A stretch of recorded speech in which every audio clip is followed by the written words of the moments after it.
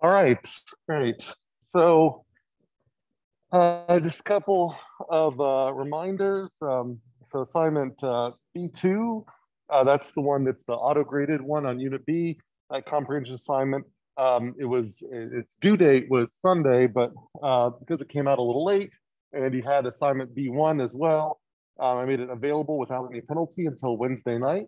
So that's just a couple of questions going over some concepts from Unit uh, B so, uh, you know, basically it's a lot of systems archetype practice. So uh, here's an example causal loop diagram of a system. Uh, what archetype does it look like it best matches? A lot of that. Um, there is, um, it's the only week where we've got two readings in one week. Uh, so there is a reading on critical slowing down uh, that should dovetail well with this reading today that's for Thursday. And I will get the reading exercise for that out today. And um, assignment C will be uh, the unit comprehension for this assignment. That will be available soon. And I'll try to give you plenty of time to complete that as uh, your sort of comprehension for unit C. Uh, so um, I'll be trying to finish up the grading of those assignment B1s that you've submitted. I've gotten about, you know, roughly half of them graded. I'll grade the other half uh, early this week so that uh, those will be back to you. So um, any questions about any of this stuff? Administrative? Okay. All right, so you had a couple of kind of introductory chapters from this book on resilience thinking um, by Walker and Salt. And so I guess the question then is, uh, what is resilience?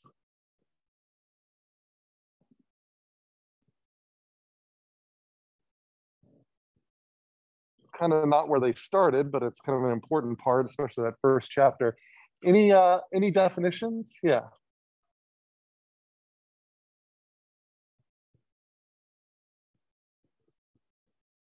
So I'll write down here ability to bounce back is one keyword there. So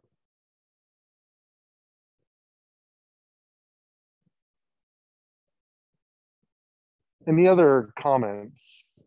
Yeah. So capacity of a system to return to, I'll say original, okay.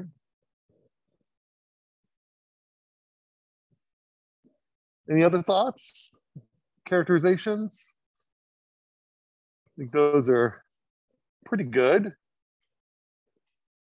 So for me, what I hope you, you get kind of get out of this is that what sort of both of these kind of capture is it's sort of the ability of a system to absorb a change uh, without fundamentally having to change itself. And so there's so I, I mean, I sometimes might call it an absorptive capacity.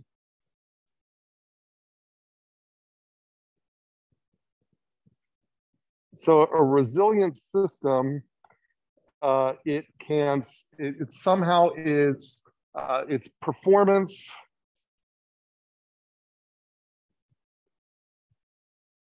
is relatively unchanged.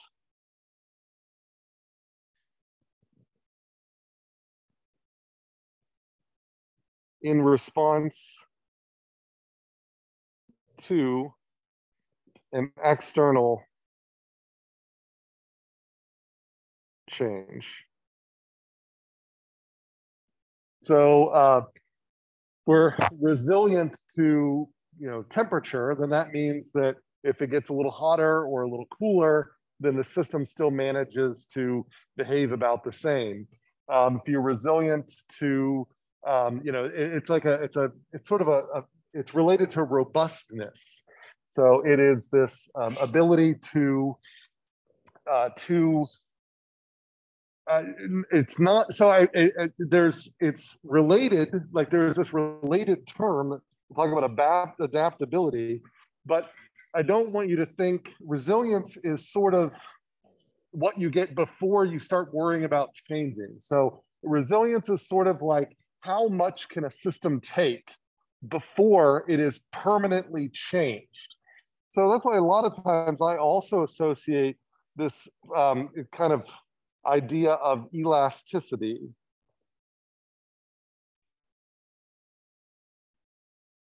So it is, uh, it can stretch, but then return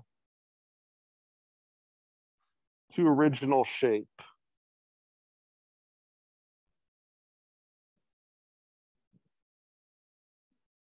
if you push a system, and let me see if I can get rid of that uh, border there.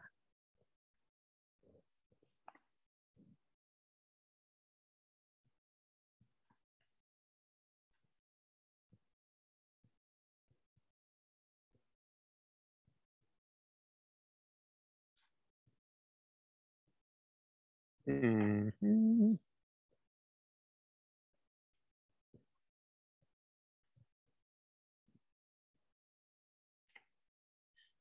and see if this um, that will go away after the mouse is kind of off screen there.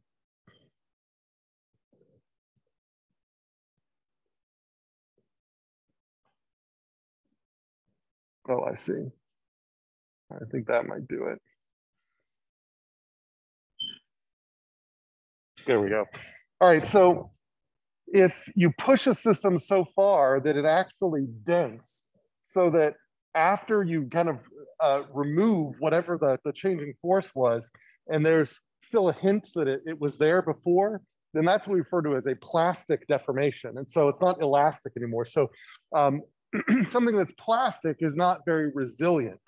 So you can hit it and it dents and the dent sticks there. If you know a system gives a little bit, but then has a tendency to come back to where it was, we refer to it as being a resilient system.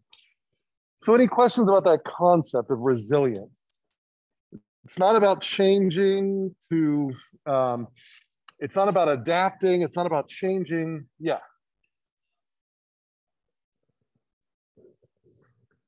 Uh, well, I mean, I it's kind of a general term that we use when we talk about systems that change. So we talk about, you know, when you know, learning processes or uh, plasticity. So, you know, so um, so I, I, mean it's not something that i'm like requiring that term but i mean i guess i could throw that out there is that you know plastic um, deformations are those that are sort of permanent changes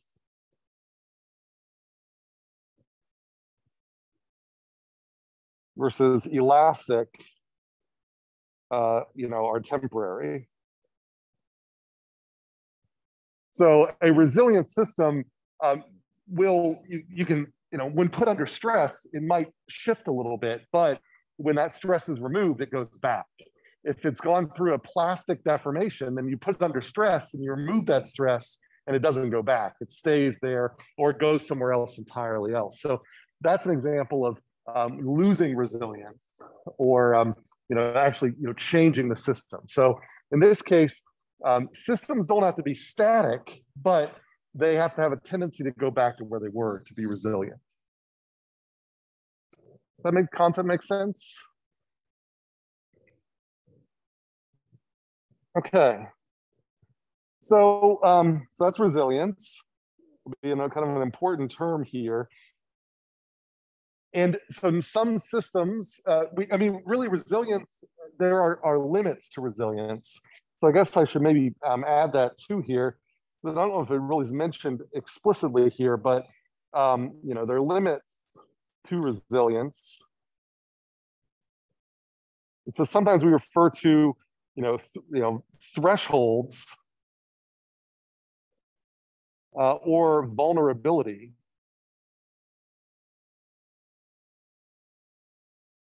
So um, a system is always vulnerable to being pushed too far, to uh, to being too pushed to a point where it can't recover.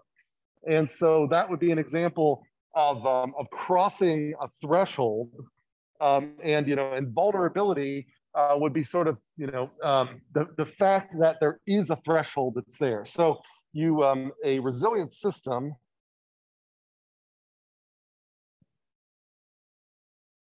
may be vulnerable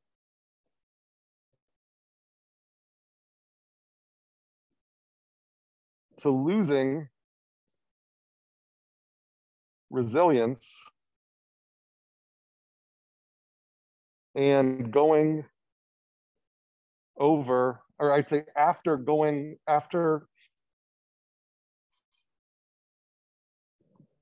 being pushed over a threshold.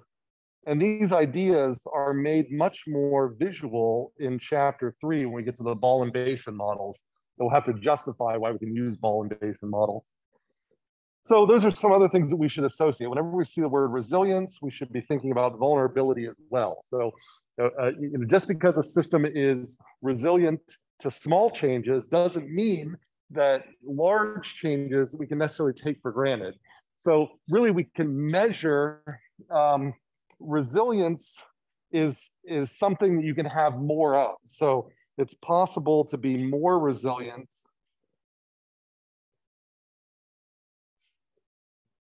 and less resilient.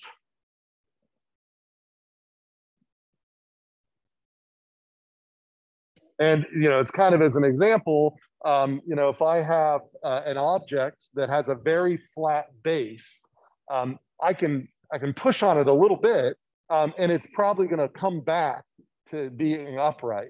It's very resilient, so you can bump into it, and it's probably not going to flop over. But if you have an object that has a narrow base um, and maybe maybe a wide top, then you can push on it a little bit, and it'll stay upright. But if you push on it just a little bit more, then it's likely to fall over. So it's not very resilient. So resilience is sort of a something that we can measure, and we can say some systems are more resilient than others. So, and I guess I can just draw that little example where if I have something like this, you know, and you push it, this is very resilient. But something like this, and you push it, not very resilient.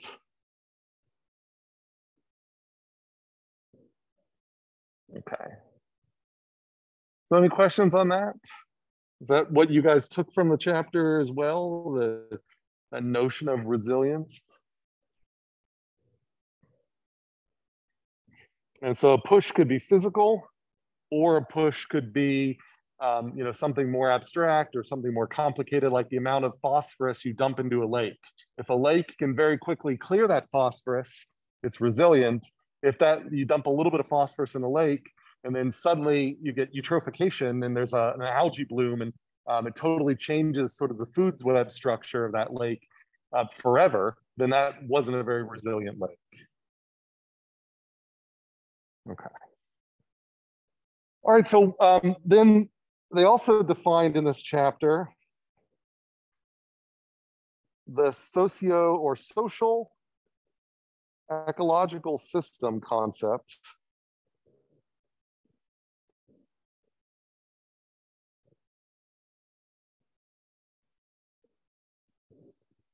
or SES, as you'll see in the resilience literature. Um, so what, what is an SES and what's, you know, what is the point? So what is the key idea here?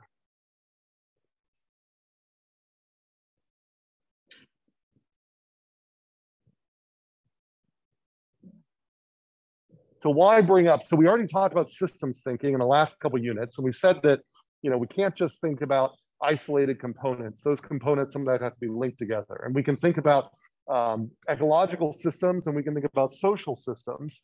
So what was the point of thinking about social ecological systems or SES? Why do we need that? Yeah.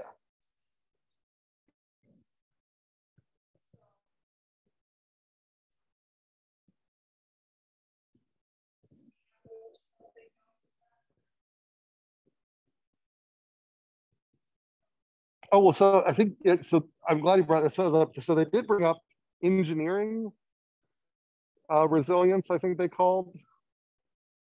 Um, I think that was the term, engineering versus ecological.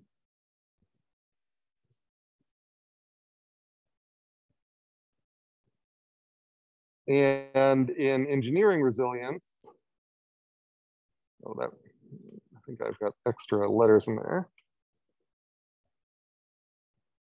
And then about in, you know what, so engineering resilience, the focus is on small um, speed response to small changes.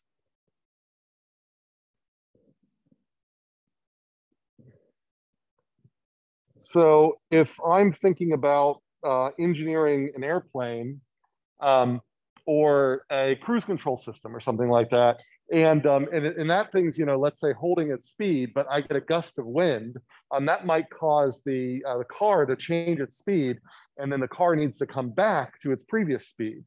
So um, if I want to um, engineer resilience into the system, then I would, I'm, I'd say for that small change, I want to very quickly get back to my set point speed.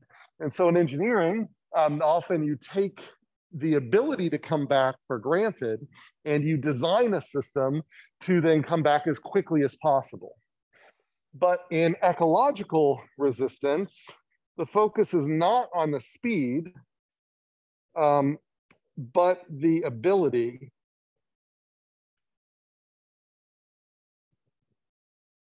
to recover. And so uh, we can't take it for granted that uh, that if you dump a bunch of phosphorus into a lake, that it will clear that phosphorus and come back to its old state. Uh, but and so instead we study how much phosphorus can that lake absorb? How resilient is it to phosphorus um, uh, perturbations? So, so there's a slight difference there. And the reason why I think that the resilience community, the kind of sustainability community likes to focus on this difference is that very often when you engineer a system to be have a very fast response to changes, you actually reduce how resilient the system is overall.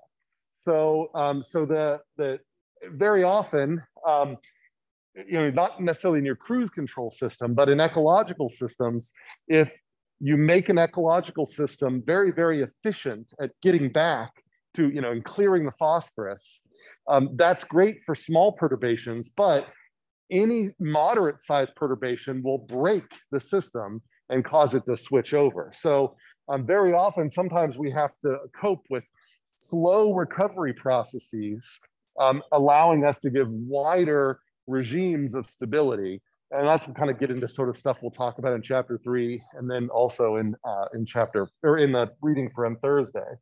So really, um, although this chapter said, don't worry about the speed of recovery, but more the ability to recover, what you're going to read for Thursday actually talks about how you can study how fast a system responds and changes in how fast it responds actually give you an uh, um, a indication that you're about to potentially go over what we'll what we'll learn is called a tipping point.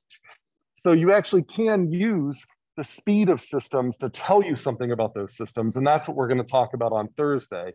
But the big focus of these chapters is not on the speed so much as the ability to recover. So yeah, I'm glad you brought that up because I didn't focus on that before, but there is this in the book, this contrast between engineering and ecological resilience. But if we sort of zoom out and think you know, more broadly, though, this SES concept, what's the point of um, why did they take the time? Like they said, there's three points of chapter two, and the second whole, like a third of the chapter, was introducing this concept of the social, uh, socio-ecological system. Yeah.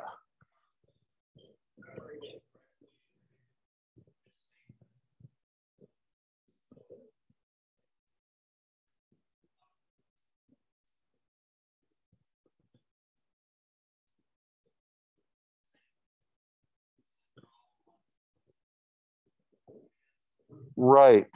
And all in one big system is shorthand for saying you can't understand the functioning of one without including the effects of the other.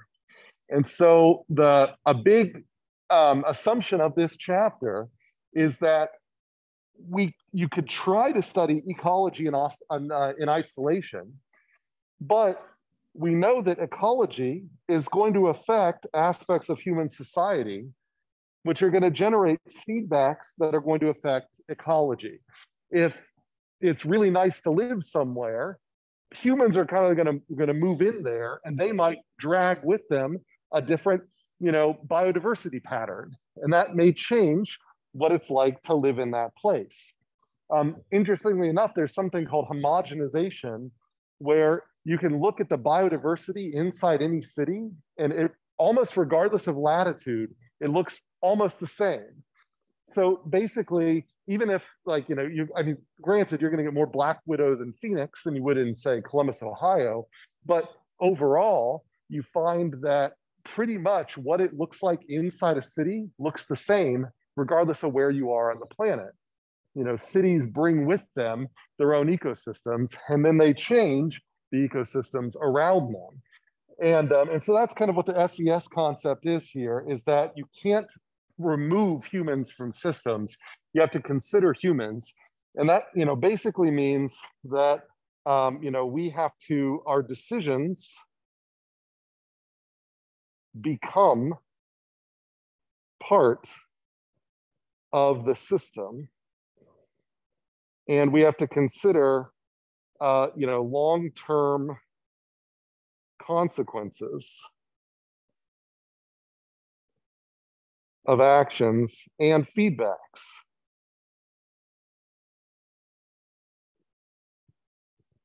And so basically this whole section here is really about bounded rationality and avoiding it.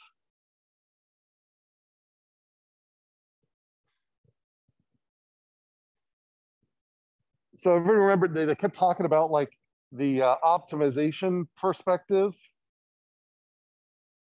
What was the optimization worldview that they talked about? Like, you don't have to give exact examples, but what was the gist of like, kept bringing up, you know, a lot of humans, you know, think in terms of optimization when they think about, you know, the world around them. What, what was that about?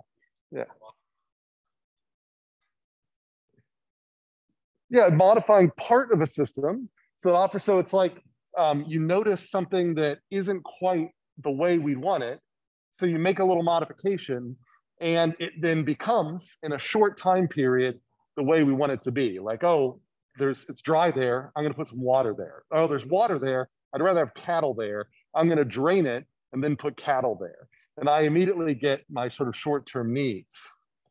And that's kind of the optimization. As a problem evolves, as an event occurs, we try to solve it. That this basically the optimization worldview is the event-oriented worldview that we talked about in Kim and Lannon. And so, um, so this, if you exclude yourself from the system, you look at the system as a source of problem events, and then you just solve each event as they occur not thinking about how your solutions might generate future problems. So maybe draining the wetland to put your cattle on it isn't such a great idea because that wetland was providing a lot of benefits to say how floods, for example, or droughts, um, you know, occur in the area. So these wetlands buffer against floods and droughts. You get rid of the wetland, maybe you're going to have more flood problems and drought problems. And so then you say, all right, well, then we'll just ship in water when we need it. You know, and then that creates another set of problems. Um, or uh, when there's flooding, we'll just build more walls and that'll keep the floods out. I mean, until there's a really big flood, you know, and then so um, all of these, you know, these trying to, you know, you, you solve one problem, it generates a new problem, you solve it, it generates a new problem and so on. That's sort of treating the ecosystem as an adversary that you just need to sort of you know beat every once in a while in order to assert dominance.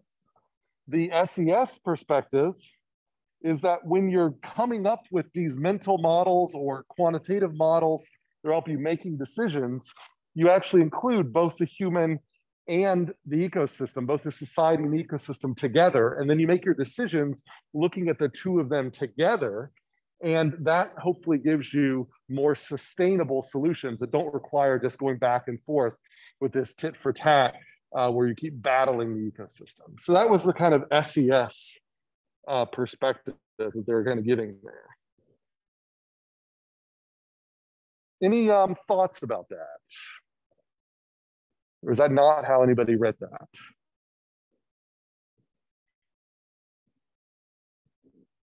Okay. All right, so this SES term, that's a term that you see a lot in the resilience literature. Um, you know, when, you know, in the sustainability school, you also hear about people talking about low socioeconomic status, which is also abbreviated as SES. And a lot of times, like there actually are ecological feedbacks that have to do with socioeconomic status. And so um, it can get a little confusing as to knowing which SES you're talking about because some communities will talk about both. Uh, but in this book and in this class, uh, if I say SES, I'm usually referring to socio-ecological system. Okay. All right, so the um, other big um, part of, I think, chapter two was complex defining SESs as complex adaptive systems. And we can contrast these versus um, simple or complicated systems. So complex versus complicated. So anybody pick up on this? What um, does anybody have a good uh, sort of quick definition of what's what's the difference, or even an example of a complicated system versus a complex system? These sound like similar words, but what was the sort of being communicated about the difference here? Yeah. Um, well, so that's yeah. So that's that's one of the things here is that this uh, adaptive here. That's we can pick on that one first. Is that um, without getting the complex versus complicated adaptive systems? These systems have the ability to adapt or change um, and maintain some function. So this is, you know, in contrast to like, if if you go to a car and you take its left wheel off, it just stops driving. There's no way that the other wheels can compensate for the left wheel, the left front wheel being gone. So that is not an adaptive system. But if you go into an ant colony and you take out 30 ants, there might be whatever jobs those 30 ants were doing aren't being done anymore, but other ants will start doing those jobs. If you flake off some skin cells, um, you know, those skin cells were providing some benefit locally, but they their function will be replaced by others. The system can adapt, it can heal, um, it can possibly change its function uh, but it can respond to changes from the environment and from internally. So that's what we mean by adaptive. But um, you know, this is a little more nuanced. What about complex versus complicated? So most systems that we think about are complicated, like uh, cars, for example. A car is not complex. It's complicated. It has a lot of parts, but it's not complex. Um, does anybody have a guess or a thought about this distinction? What do we mean by, I would say like an ant colony is complex, a car is complicated. Yeah.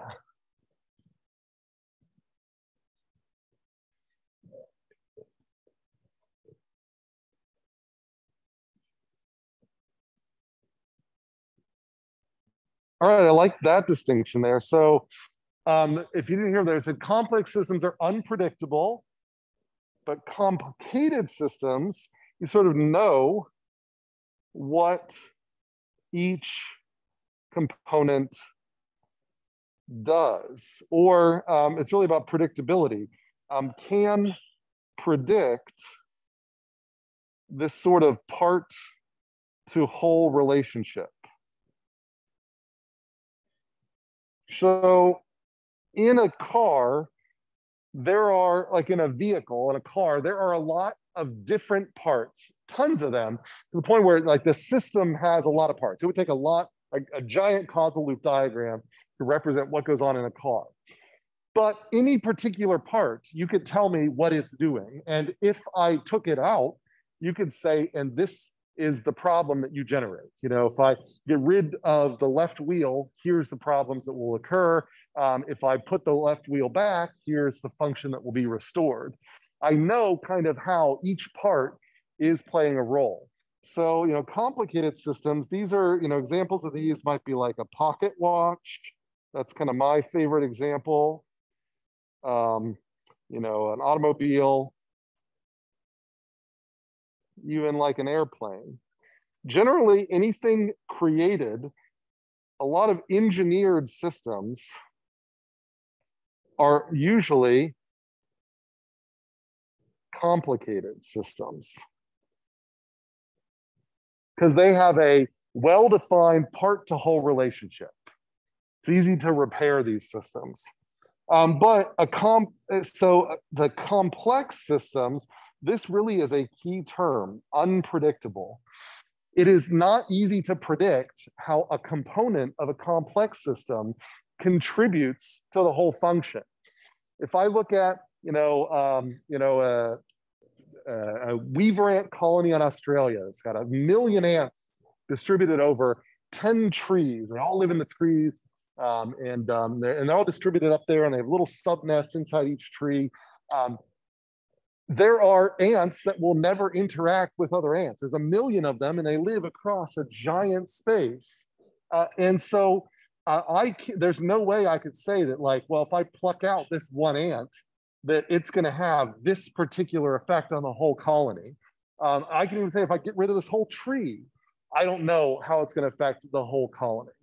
And so, um, you know, that lack of predictability is what makes it complex. But I do know that the colony as a whole, if I put, um, you know, a dead bird on the ground, they actually can carry the thing up into the tree. If I, um, you know, I can look down and I, I, can look up and I can see they build uh, nests out of leaves that they weave together with silk. You know, these are things, they're functions that I know that the group does, and those functions are always there. But I have a no idea how each individual component contributes to those functions. So the other thing that we associate with complexity is a term I'm going to call emergence. And so here, the emergence is basically the function emerges from the group. It is not predictable from any individual part. So that is what makes complex systems so difficult to understand. Um, but it turns out that natural systems, you know, so this is you know, a great deal, so I can say like ant colonies, um, even this, um, to, to much, I mean, like we treat the human body like a machine. And you know, there are modules, and we'll talk about modularity later in the semester. But for the most part, um, there are a lot of like coupled subsystems where we like think that something only has one role, but it turns out it has lots of roles. Um, so like even the you know the human body is you know can be thought of as a complex system. The brain itself can be a complex system. You don't know what one neuron does you can sort of say this population of neurons seems to be responsible for language, this population for motor control, but any individual neuron, you don't really know how it's contributing to the whole. You know it must, but the function emerges from the interactions of, of uh, all of these together. So uh, these, so there's a lot of natural systems.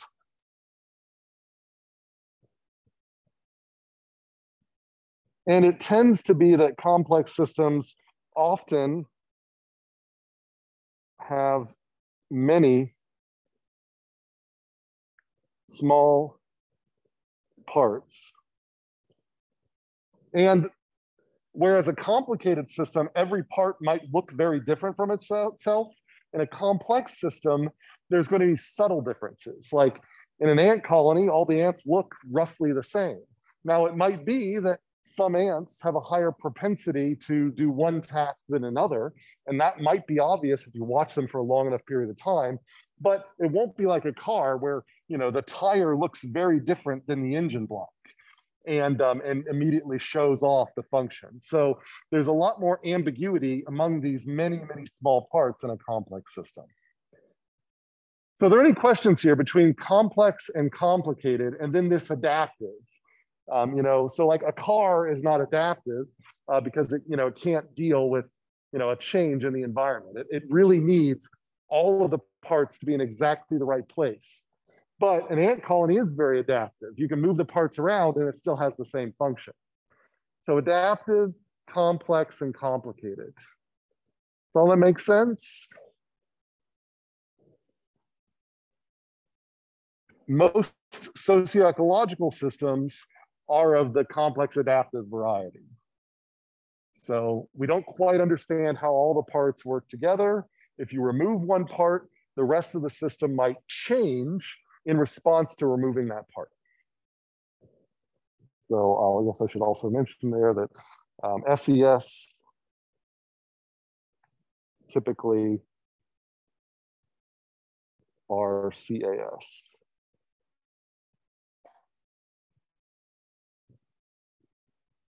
Okay.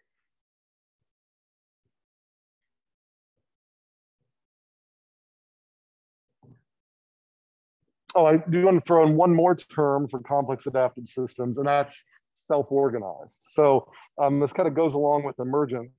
Um, complex adaptive systems, um, and it's kind of what we do when we combine the complex and adaptive together. I guess I'll put that here. So complex plus adaptive often gives, uh, creates the ability to be self organized. And you can think of this as sort of the uh, ability for a system to adapt by itself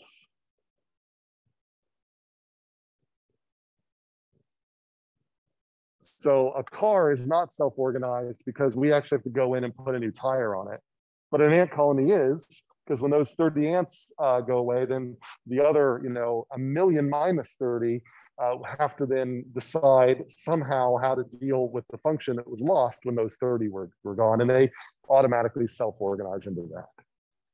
Yeah.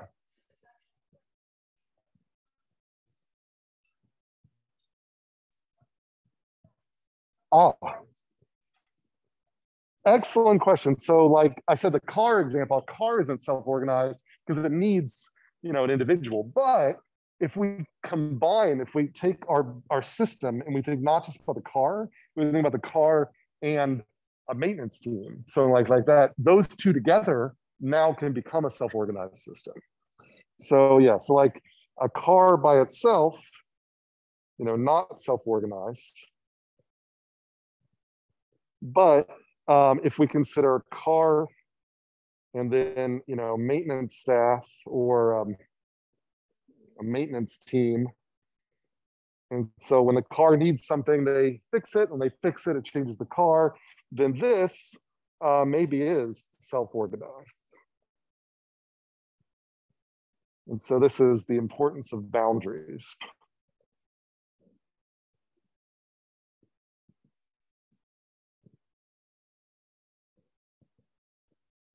In drawing systems.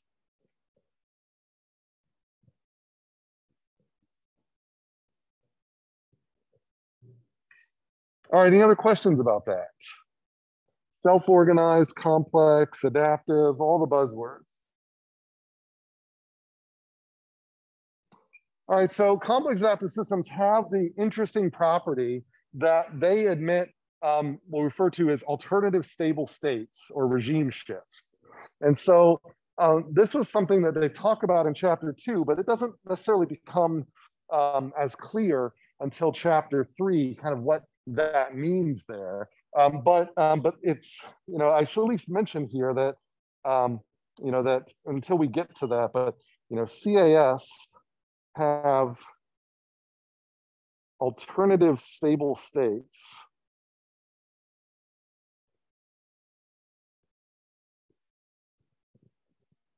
and they can have regime shifts.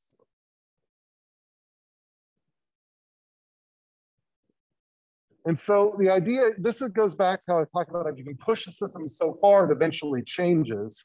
Um, and so what we mean by an alternative stable state is that in a complex adaptive system, you might notice the system is performing one function, like a lake, for example. Um, you know, if I can say, I'll, I'll put this under, just copy that and move it to the top of the next page.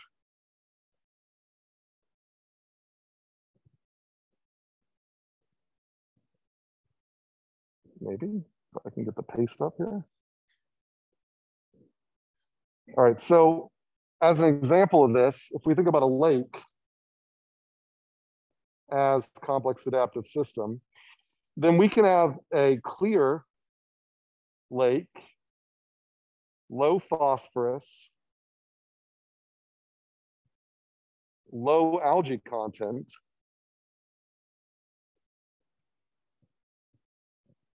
but that same lake, if you dump enough phosphorus into it, you'll grow enough algae that that algae can latch on. And the algae, and this is something that was talked about in chapter three, the algae can produce enough dead algae that it will change the soil chemistry of the bottom of the lake that will um, prevent the lake from clearing its phosphorus. And so one stable state is a clear lake, but if you dump enough phosphorus into that lake, eventually you can cause that lake to go over its resilience threshold and move into an alternative stable state where it is a murky lake with uh, much algae, low oxygen, very little animal life.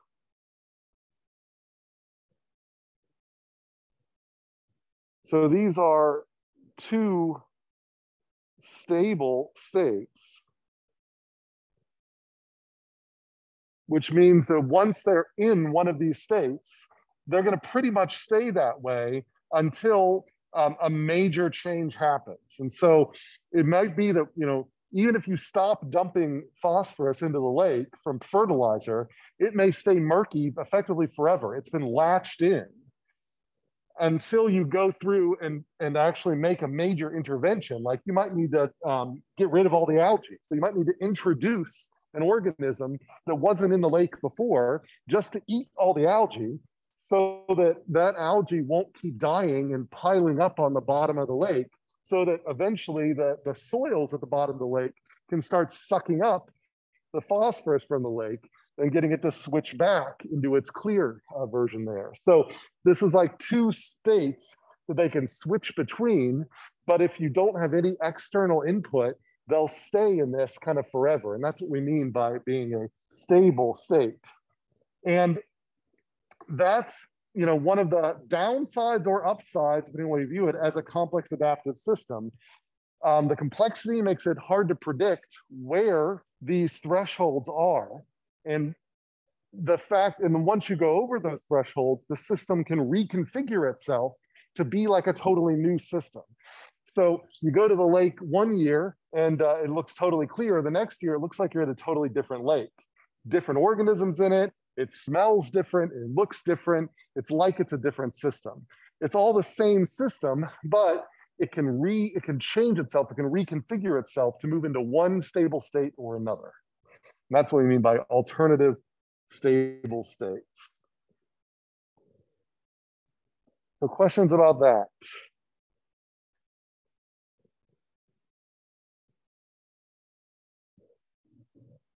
A pocket watch does not have alternative stable states. A car does not have alternative stable states. A car, um, you know, is a car all the time. A pocket watch is a pocket watch all the time. But a lake can be a clear lake or a murky lake, depending on um, how it configures itself. So it's not like you go in and you move the parts around and turn it into a clear lake. Um, you can hope that you can encourage it to change itself by dumping a lot of phosphorus in or dumping a lot of something in that hopefully pulls the algae out. Uh, but that's your hope at trying to get the system to rebuild itself. you're not going through and, and reassembling the system because it's self-organized.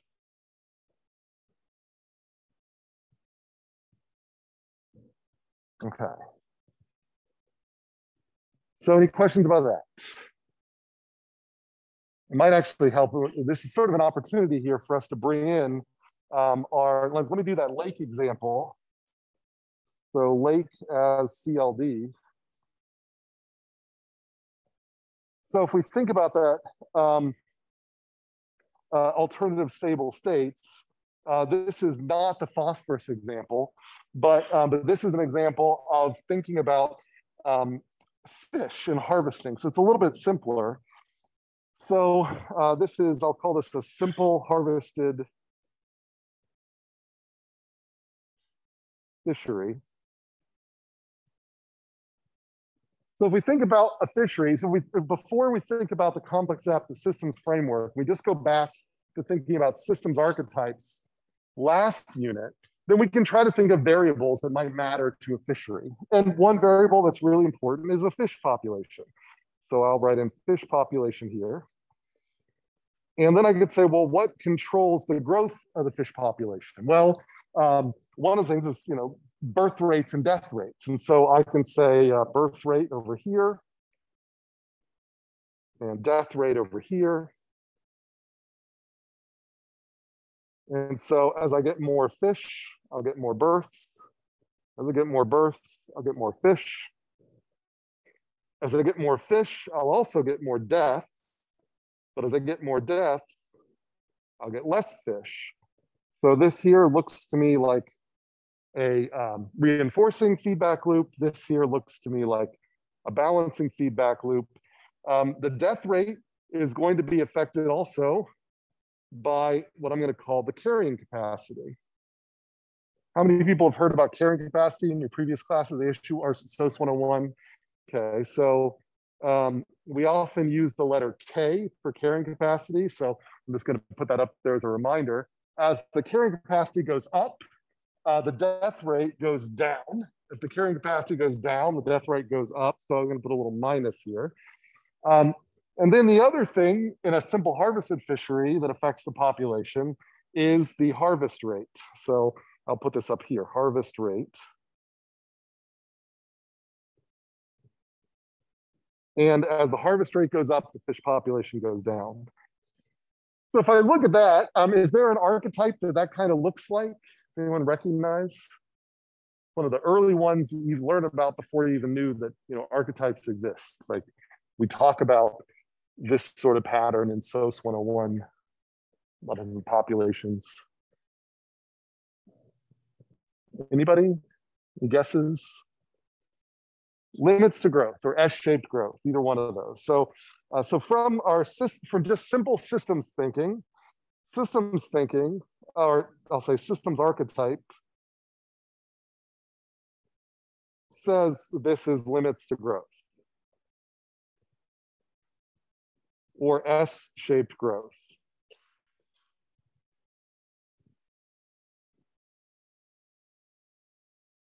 Okay, so um, we can think about, well, what's the behavior over time look like for an S-shaped growth curve? Well, we would expect that there's going to be um, our fish population here.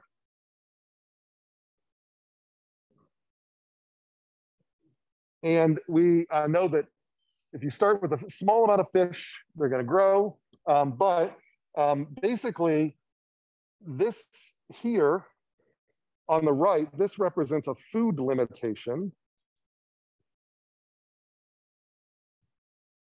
So this doesn't really kick in until there's enough of them that they start competing for food. So because of that, we end up getting this uh, kind of um, S-shaped growth curve where there is uh, rapid growth is so a transient rapid growth rapid growth, followed by it stabilizing um, at some stable population. So this is our a stable population. Now, if we didn't have the harvesting, we would know that it should stabilize at the carrying capacity. It should stabilize at, at the number of fish totally possible in this area for the amount of food that's available for the carrying capacity. But we have this harvesting. So the real question then here is how does the harvest rate affect this stable population? So how does harvest rates affect this?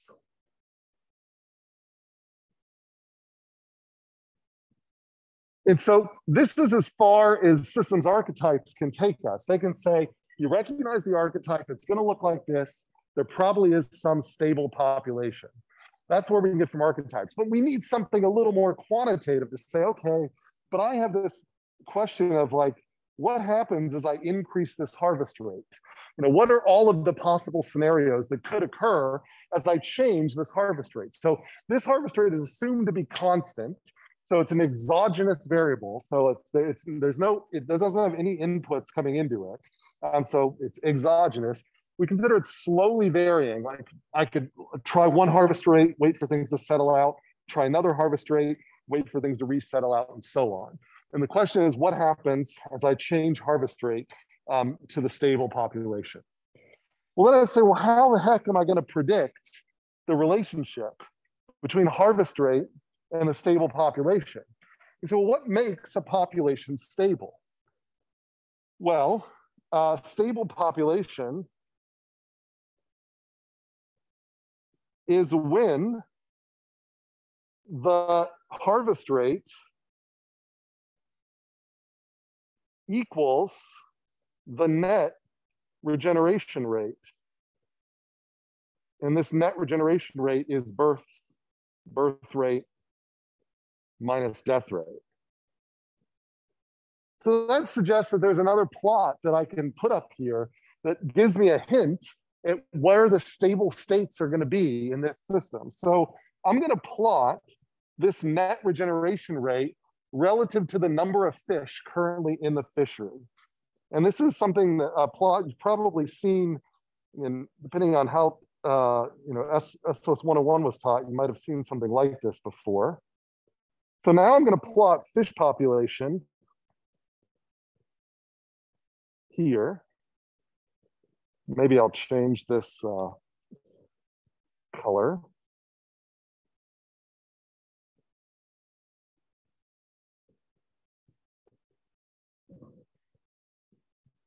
All right, so what am I gonna plot on here? Um, and now I wanna, I wanna basically plot both the harvest rate and the net regeneration rate together to see where they match up. And so I can, uh, if I think about the net regeneration rate, I know that there's, when the fish population's got zero in it, there's no regeneration. There's no fish to have new fish. When the fish have got um, K or, or carrying capacity, there's also no regeneration because there's no food left over. So that means that the net regeneration curve is going to look uh, something like one, two, three, four, five, six, seven. So somewhere around here's where about the peak will be. Something like this. So this is, I'll just put up here, net regeneration curve.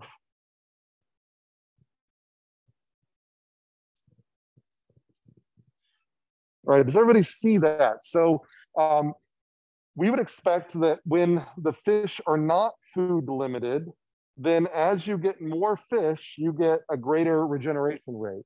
Because there's more fish around, each fish is regenerating.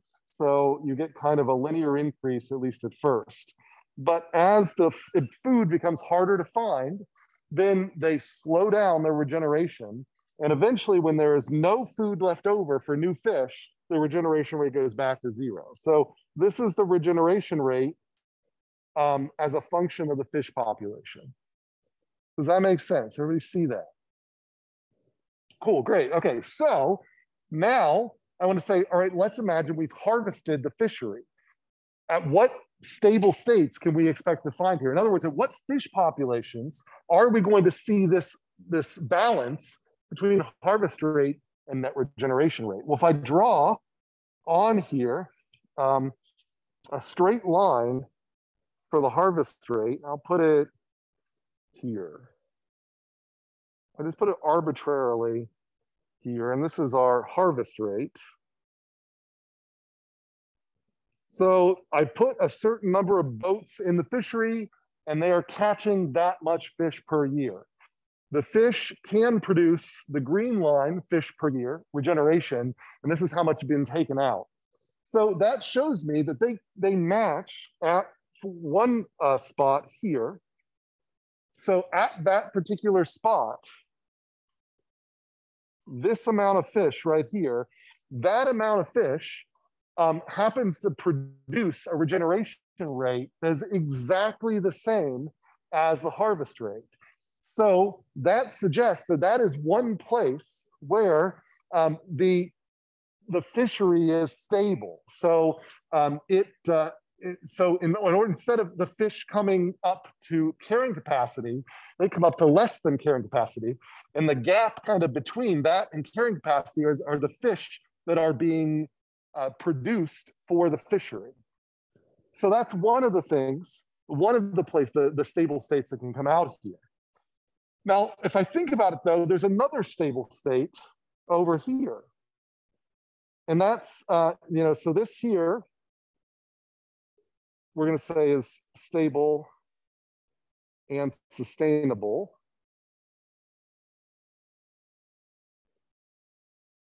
But then this point over here, this is a, a stable and extinct. So it's an extinction equilibrium. Because if you think about it, if there's no fish in the fishery, then there's no way to draw any harvest out, regardless of what how many boats you put out there. So I can't ever meet that harvest rate. So it's a special type of equilibria. But we have to include it because if you did empty the fishery out, it would never regrow. So that is a stable state. So those are two stable states.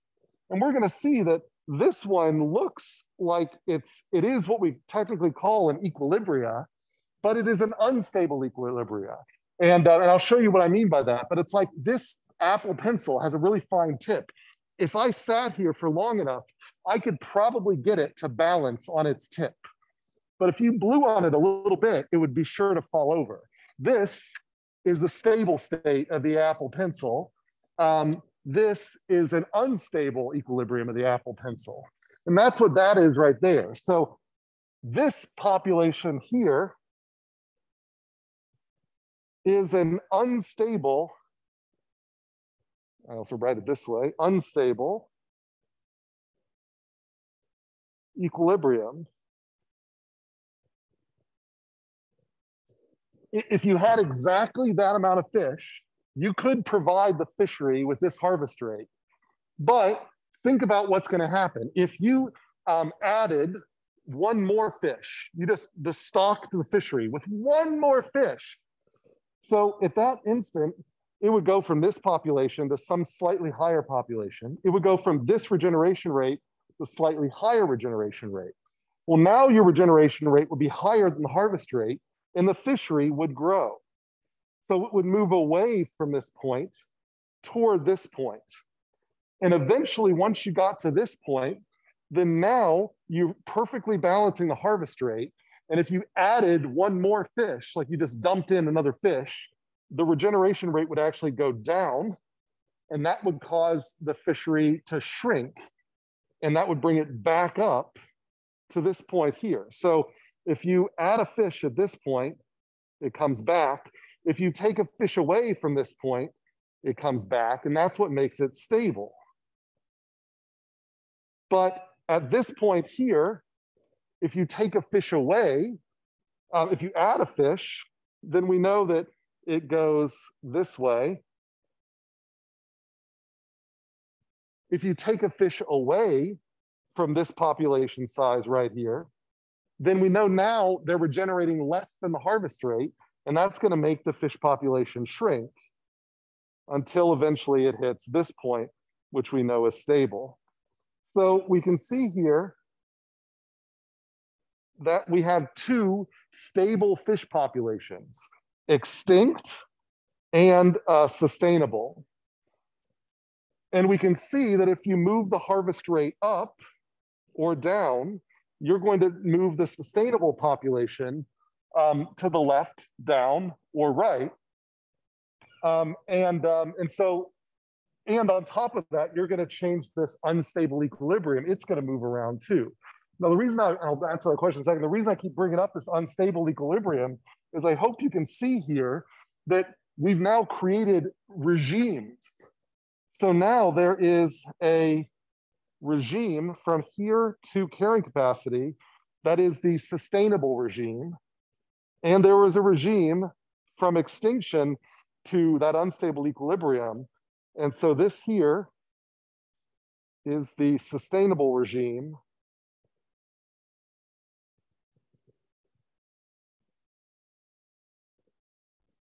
This here is the unsustainable regime. And this unstable equilibrium in between them, this is the threshold separating regimes. And that's what gives us our alternative stable states. And our stability reg regimes.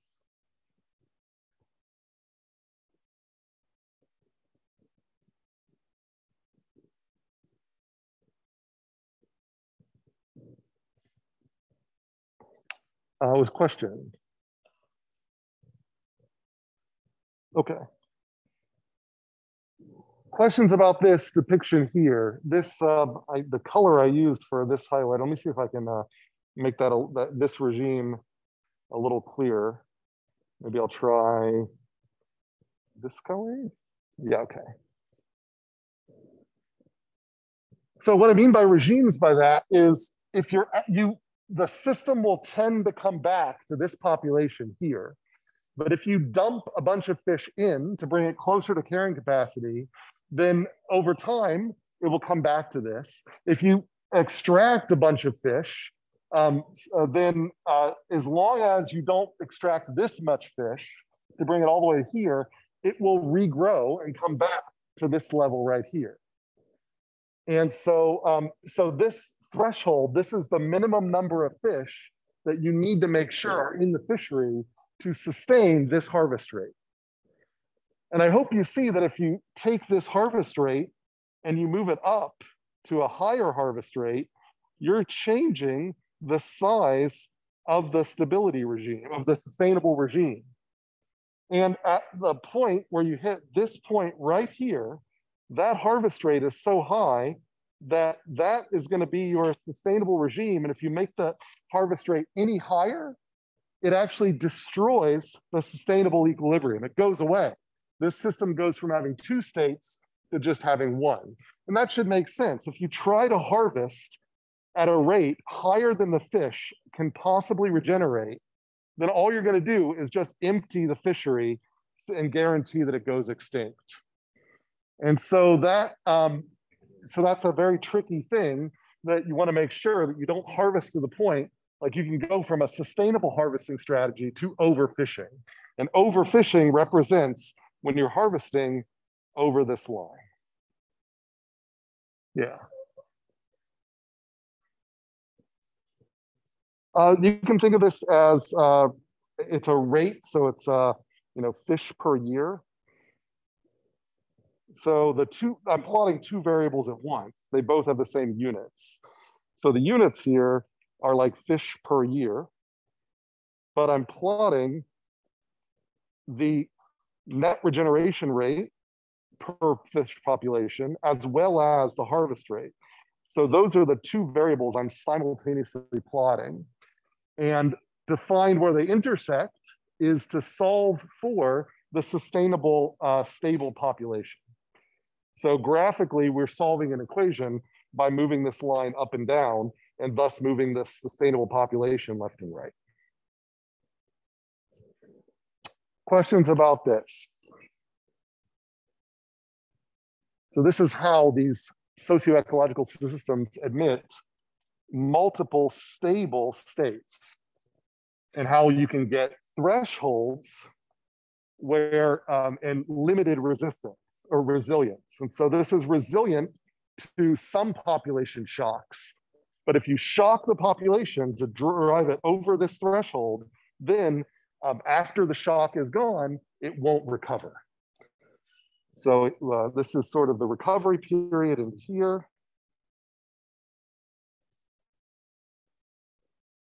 So this here is where you can recover, but you're unable to recover down there.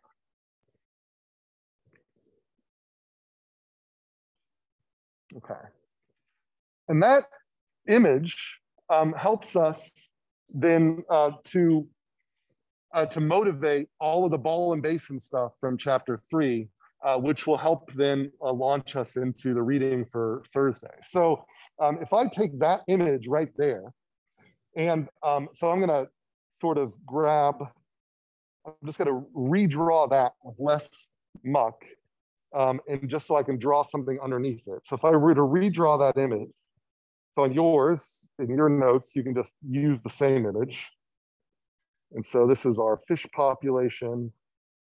And then we've got our net regeneration rate. So whatever this is K, got it goes up, comes down. We've got our harvest rate going across here. Um, then underneath,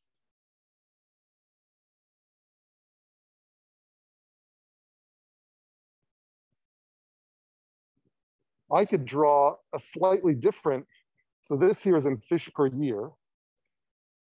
Now, rather than dealing with trying to figure out when it goes left, when it goes right, what I can do is recognize that the calculus, the rate of change that goes on here happens in a landscape with a ball and a basin on it in the same sort of way. So I can kind of think that, you know, this point right here is kind of like the bottom of a hill. This point is like the bottom of another hill. Um, and this is like the top of a hill in between them. So I can imagine drawing like a, um, a hill that let's say has a very rigid side. And then at, uh, it rises up to a peak here, and then it falls again. And then around where that other point is here, it has its trough, and then it rises up again until it hits this carrying capacity, and then it's basically a wall again. And so I can imagine that my system is like a ball that's sitting down here um, in this uh, basin. And as I perturb it by, you know, let's say I, I uh, you know, it happened to, there's a shock to the fish population and a bunch of them die in some event, um, or um, a bunch are added, uh, then this, thinking about this ball rolling around this basin gives me the exact sort of same dynamics as thinking about this more confusing curve up here that has our harvest rate and our net regeneration. So all we need to do is sort of know that there is some process that can create these basins of attraction. And then after that, conceptually, we can replace these very specific models with these generic models that import our physical intuition about balls rolling around basins. The calculus is the same, the dynamics, the rates of change, how this ball moves around.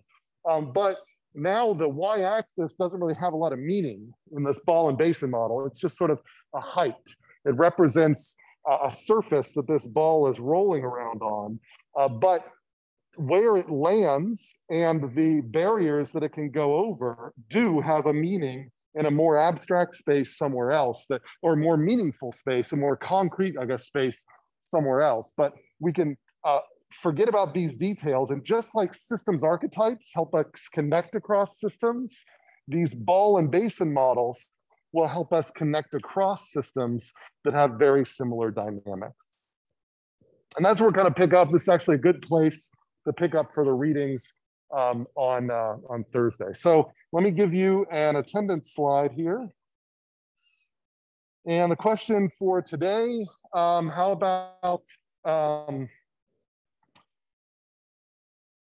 give me an example of a um, complicated system that is not complex.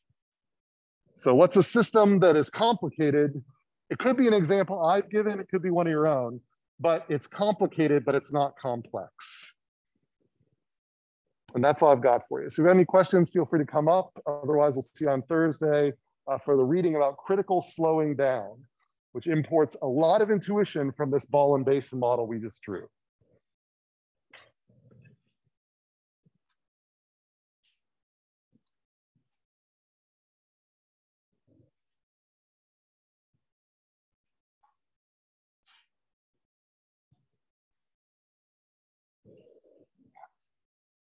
Mm-hmm.